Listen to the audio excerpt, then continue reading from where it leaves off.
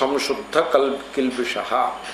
ఈ కండిషన్స్లో కొన్ని అప్పుడే వచ్చేసి అనేక జన్మ సంసిద్ధ అప్పుడే వచ్చేసింది. ఇంకా ప్రయత్నాత్ యతమాన సంశుద్ధ కిల్బిష. ఈ రెండు కండిషన్స్ కనుక మనం సాటిస్ఫై చేసుకోగలిగితే యోగి అనే అర్హత మనకు వచ్చేస్తుంది. ఇంకా అప్పుడేమవుతుంది?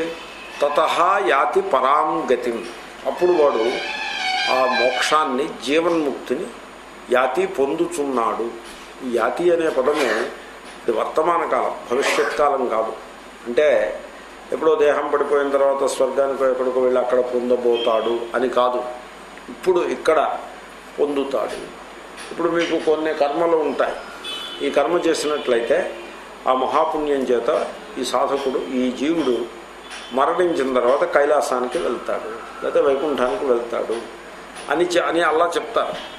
ఇక అవే దాని ఫలం మీరు ఇప్పుడు ఇక్కడ పొందేదేమీ కాదు.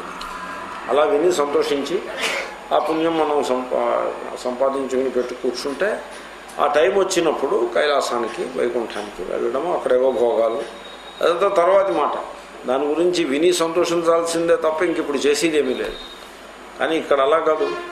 ఇప్పుడు వేదాంతమునకు ఇతర భాగానికి అంటే కర్మ ఉపాసన ఒకవైపు ఉంటాయి వేదాంతం మరోవైపు ఉంటుంది. మూడు కర్మ ఉపాసన జ్ఞానము. దీంట్లో కర్మ ఉపాసనల యొక్క ఫలము భవిష్యత్తులో దేహత్యాగం తర్వాత వస్తుంది. మోస్ట్లీ అలాగే ఉంటుంది. వెరాజ్ వేదాంతం యొక్క ఫలము ఇప్పుడు ఇక్కడ. మీరు వేదాంతంలో యోగ భ్రష్టులు అయితే పైమాట యోగభ్రష్టులు యోగ భ్రష్టులు కాకపోతే మటుకు ఇప్పుడు ఇక్కడ. తతో యాతి పరాం అయితే వేదాంతం వల్ల లభించేటువంటి ఫలం ఏమిటి అంటే తన యొక్క దైవీ శక్తి తనకు అనుభవానికి వస్తుంది. అంటే ఆకాశంలో ఎగిరిపోతాడు అలా అనుకోవద్దు మీరు. దైవీ శక్తి అంటే ఆకాశంలో ఎగరడం అది కాదు.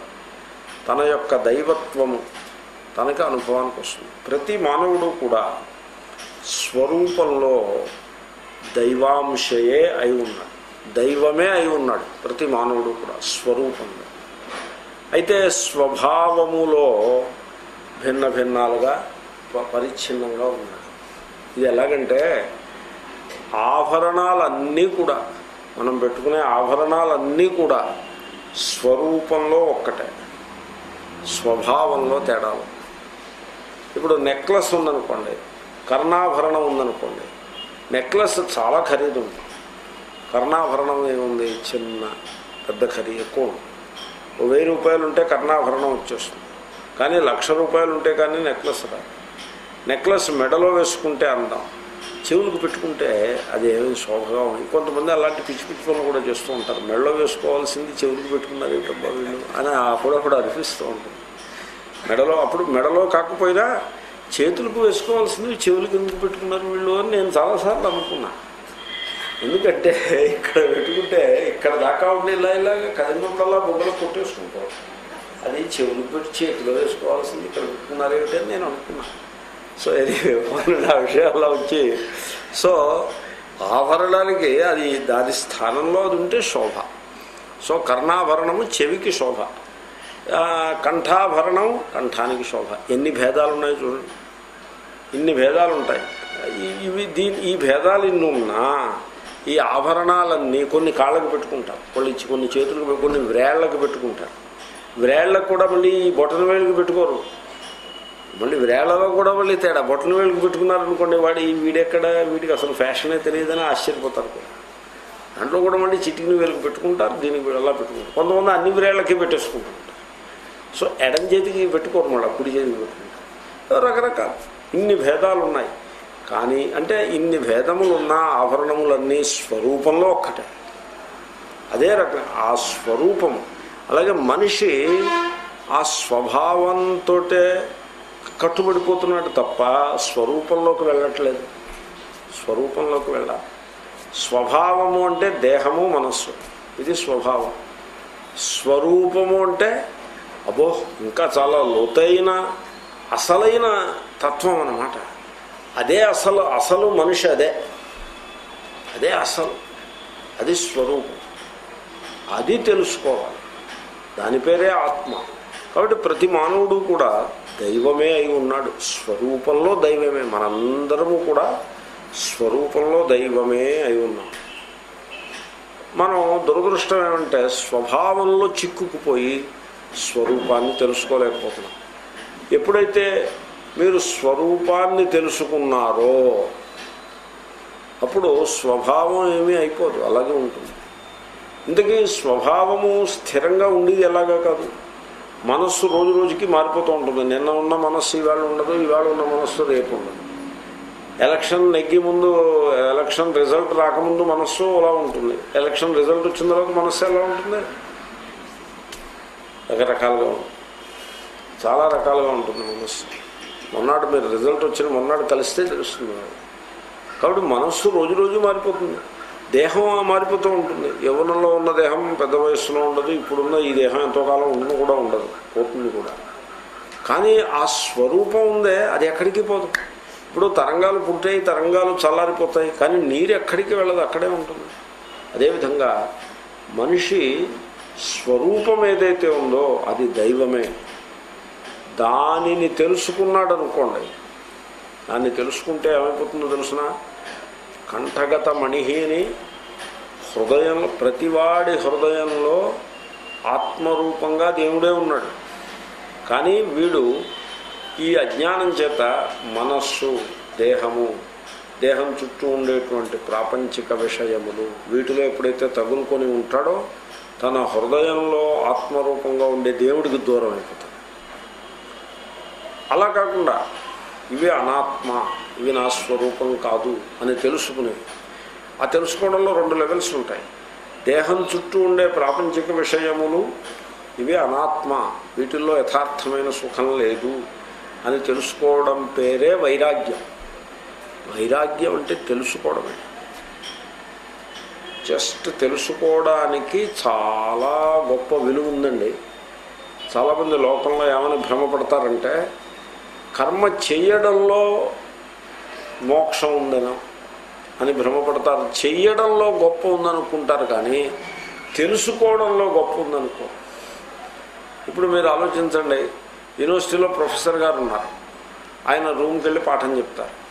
ఆ రూమ్కి వెళ్ళి ఊడ్చి వస్తాడు ఒక అతను అక్కడ ఉండే బంట్రోతో ఆ రూమ్కి వెళ్ళి ఊడ్చి వస్తాడు ఇప్పుడు చేయడం గొప్ప తెలుసుకోవడం గొప్ప వేరే చెప్పండి. ఎప్పుడు కూడా ఈ సృష్టిలో తెలి తెలివి తెలుసుకోవడానికి ఉండే మహిమ చెయ్యడానికి ఎప్పుడూ ఉండదు.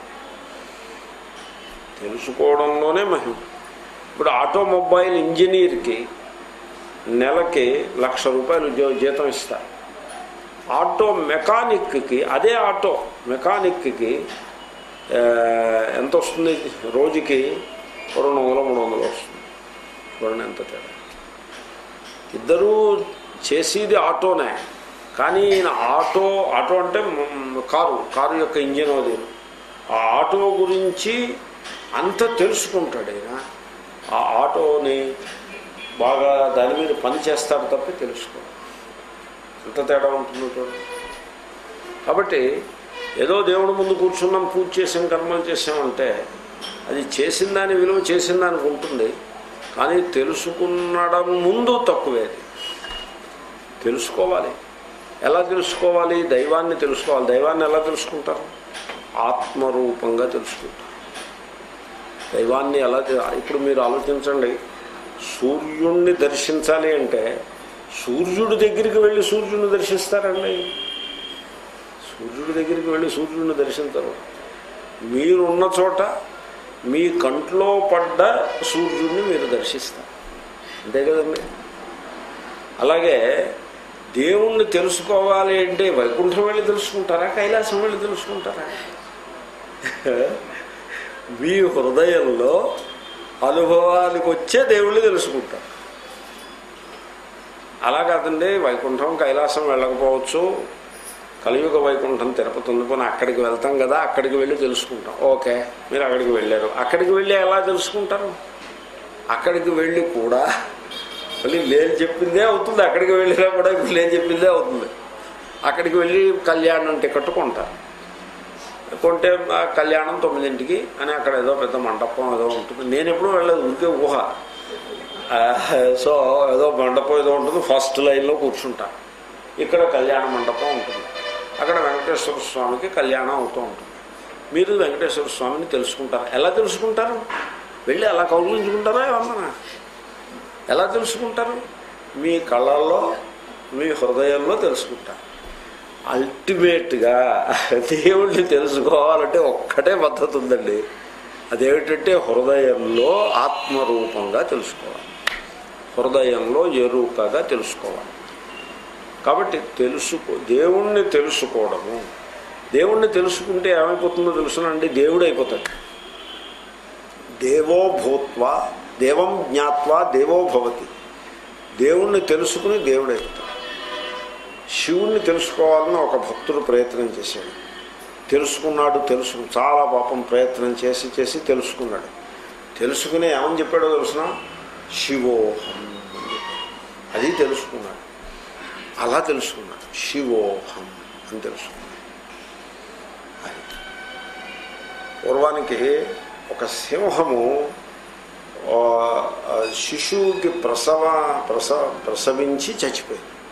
సింహం కూడా చచ్చిపోతుంది కదా ఏదో దానికి ఏదో వ్యాధి వచ్చి చచ్చిపోయింది. ఈ పిల్ల ఈ సింహ పిల్ల దానికి ఇంక తల్లి లేదు. ఇటు అటు కష్టపడుతూ తిరుగుతూ ఒక గొర్రెల మందలో పడింది వచ్చి.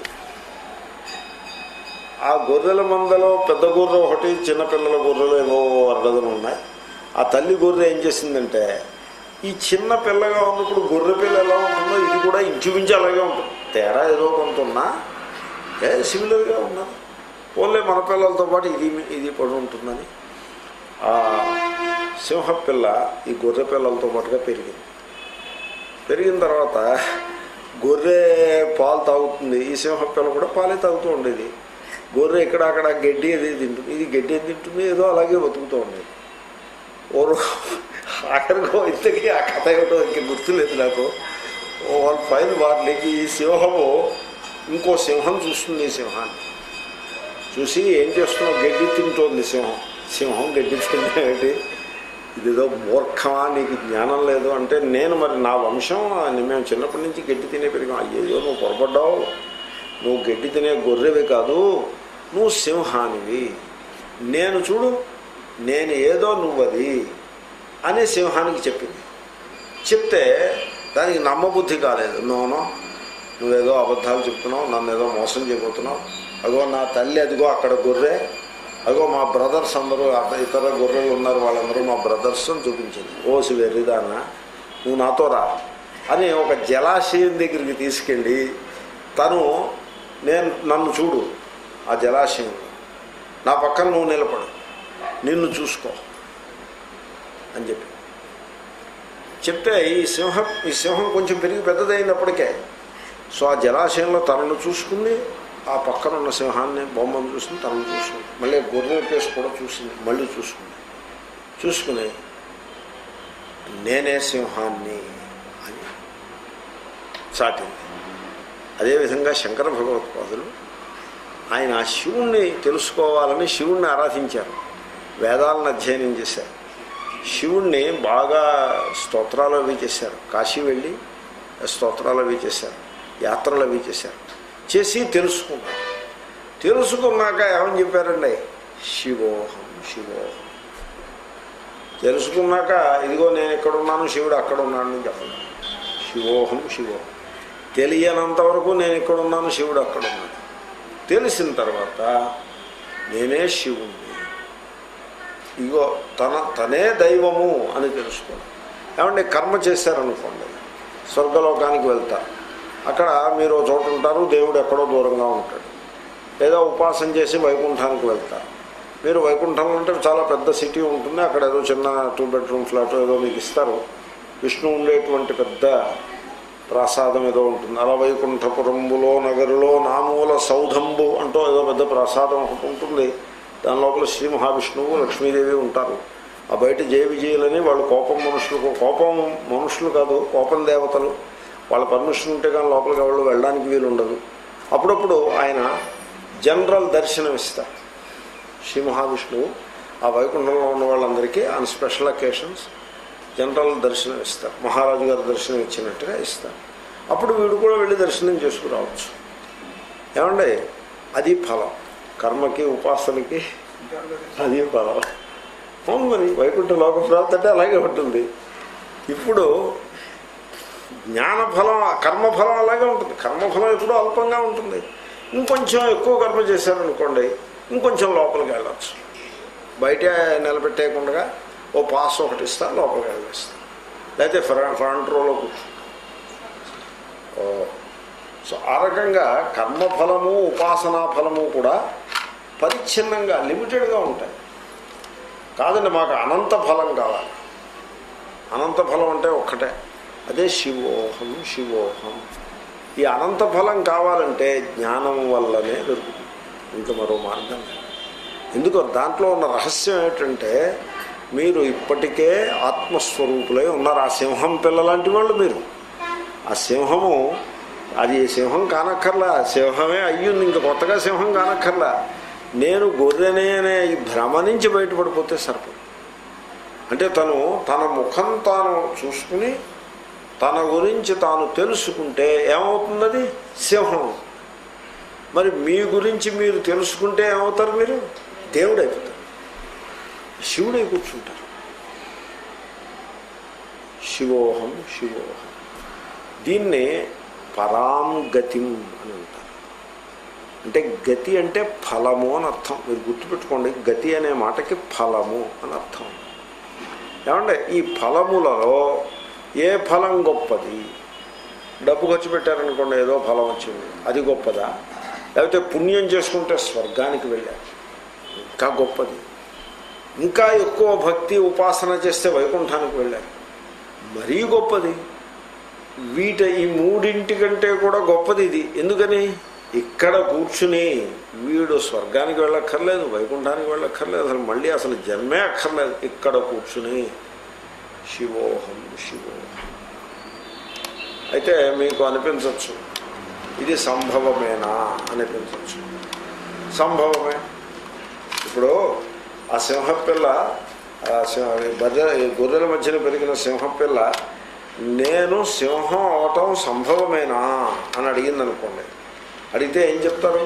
ఎస్ సంభవమే అని అని చెప్తారు కాబట్టి సింహం పిల్ల సింహమే అయి ఉంది కనుక తను సింహం అని తెలుసుకుంటే సరిపడుతుంది. అలాగే మనం కూడా తెలుసుకుంటే సరిపడుతుంది. సరే మరి ఇంకేమి తెలిసేసుకోవటానికి అభ్యంతరం ఏమిటి? ఒక పార్ట్ అప్పుడే సిద్ధించేసింది. అనేక జన్మ సంసిద్ధ ఇంకా దాని చేయాల్సిందే చేయాల్సింది సిద్ధించి ఉన్నది ఇంక ఇప్పుడు మనం చేయాల్సిందల్లా ప్రయత్నాద్యతమానస్తు యోగి సంశుద్ధ కిల్బిష. ఆ పార్ట్ చూసుకుంటే సరిపడుతుంది. ఇప్పుడు కూడా దేవుడంటే మీకు నేను ప్రాక్టికల్గా చెప్పి ప్రయత్నం చేస్తున్నాను. దేవుడంటే ఓ పెద్ద బండరాయిలాగో లేకపోతే పెద్ద ఏదోలాగో డ్రెస్అప్ అయిపోయి అలా ఉంటాడని అనుకోవద్దు. దేవుడు ఎలా ఉంటాడంటే సూక్ష్మ రూపంగా ఉంటాడు. ఎలక్ట్రిసిటీ ఎలా ఉంటుంది? ఎలక్ట్రిసిటీ ఎలా ఉంటుంది? ఎవరైనా చూసారా ఎలక్ట్రిసిటీ? అలా ఉంటాడు. ది- దిక్మాల ఎలక్ట్రిసిటీకే అంత మహిమ ఉంటే ఇంకా దేవుడికి ఎంత మహిమ ఉంటుందో మీరు ఆలోచించండి. చాలా సూక్ష్మంగా ఉంటాడు దేవుడు అంటే ఎక్కడ ఉంటాడు? మనలో ఉంటాడు. ఎలా ఉంటాడు? ఎలా ఉంటాడో చెప్పడం కుదరదు. వాక్కుతో చెప్తే అది దూరం అయిపోతుంది అప్పుడే వాక్కుతో చెప్తే ఓ మహాత్ముడు అనేవారు రామకృష్ణ పరమహంస అనేవారు దేవుడు ఎలా ఉంటాడో వాక్కుతో చెప్తే పండుని ఎంగిలి చేసినట్టు అవుతుంది. ఎంగిలేగా వాక్ అంటే? ఎంగిలి శిష్టులు తినరు. ఇప్పుడు మీరు ఎంగిలి చేసిన పండు అక్కడ పెట్టారనుకోండి ఎంత గొప్ప పండు అయినా సరే తింటారా శిష్టులు తినరు. అలాగే అంటే అది అప్పుడే దాని క్వాలిటీ ఒక స్టెప్ పడిపోయింది కిందకు వచ్చేసింది. అలాగే దేవుడు ఎలా ఉంటాడో నేను చెప్పాను అనుకోండి ఎంగిలి దేవుడు అయిపోతాడు. అంతే కదా? ఎందుకంటే నోటి నుంచే వస్తుంది కదా. వాక్కి అన్న మరి ఇంకేమిటి? డోంట్ టాక్ వాక్కుని కట్టిపెట్టు. యచ్చేత్ వాంగ్ మనసి ప్రాజ్ఞ. కఠోపనిషత్తు వాక్కుని మనస్సులో విలీనం చేయి. మనస్సుని ఆ ఎరుకలో విలీనం చేయి. అలా నిశ్చలంగా ఉండిపో ఆ నిశ్చలమైన మనస్సు నిశ్చలమైనప్పుడు మీకు అనుభవం వస్తుంది. అనుభవం రావడం అంటే మీరే అదే ఉంటారు. మీరు దాంట్లో విలీనమై అనుభవ రూపంగా ఉంటారు. ఏమిటా అనుభవము? సచ్చిదనుభవంగా ఉంటారు. ఆ ఉ- ఉనికి ఉండుట. ఎటువంటి ఉండుట? స్వయం ప్రకాశము. తనంత తానుగా తెలుసు తెలుస్తూ ఉండే తెలివి అయిన ఉనికి. చూడండి ఇప్పుడు ఇది ఉంది ఉన్నది. ఉనికి. అవునండి కానీ ఈ ఉనికి తెలివి అయిన ఉనికే. కాదు జడమైన ఉనికి. అవునండి? ఈ సృష్టిలో ఏది తెలివియో అదే ఉనికి ఏది ఉనికియో అదే తెలివి. అలాంటి తత్వం ఒకటి ఉంది. అది ఏమిటనుకుంటున్నారు అది? నేను ఆత్మ. తెలివి అయిన ఉనికి ఆత్మ. సచ్చిత్ అదే ఆనందం. కాబట్టి అంటే మనుషులు ఏమనుకుంటారంటే ఆనందం అంటే ఈ గెంతులు అవి వేస్తూ ఉల్లాసంగా పరుగులు తీస్తూ ఉంటారు అనుకుంటారు. ఎందుకంటే పార్టీల్లోనూ అక్కడ ఇలా డ్యాన్స్లో అవి చేస్తూ ఉంటారు ఆనందంగా ఉంటారు అలాగే ఇక్కడ కూడా వీడు కూడా ఆనందం అంటే ఇలా ఇలాగ ఏదైనా కొంతైనా కొంత ఊగిపోతూ ఉంటాడు అనుకుంటారు. అలాగేం కాదు. ఆనందం అంటే శాంత ఆరోధ్యాయం అయిపోయింది కాబట్టి మొదటికి వస్తున్నాను నేను. ఏమిటో ఇవాళ పాఠంలోనే ఆరోధ్యాయం మొదట్లో చెప్పిన పాఠంలాగా అనిపిస్తుంది నా మటుకి నాకే. సో ఆనందము అంటే శాంతము. సో శాంతం సుఖముత్తము. ఆ శాంతము అంటే మనస్సు పూర్తిగా విశ్రాంతిలోకి వచ్చేసింది అనుకోండి ఆ సైలెన్స్ బయట నుంచి లోపల నుంచి కూడా నిశ్శబ్దం. ఆ అటువంటి శాంతమైన ఆ ఎరుక అది దేవుడు అంటే. దానికి రూపం ఉండదు. అన్ని రూపాలు దాంట్లో ప్రకాశిస్తే దానికంటూ రూపమే ఉండదు. ఇప్పుడు ఎలక్ట్రిసిటీకి రూపమే ఉంటుంది. కానీ అన్ని రూపాలనే అదే ప్రకాశింపజేస్తుంది. దానికంటూ రూపమే ఉండదు. అలాగే ఈ ఎరుక ఈ ఉనికి ఈ సచ్చిదాత్మ దానికి రూపమే ఉండదు. అన్ని రూపాలు ఈ దేహము ఆ దేహము ఆ దేహము ఇగో ఈ రూపాలు అన్నీ కూడా ఆ ఎరుకలోనే ప్రకాశిస్తూ ఉంటాయి.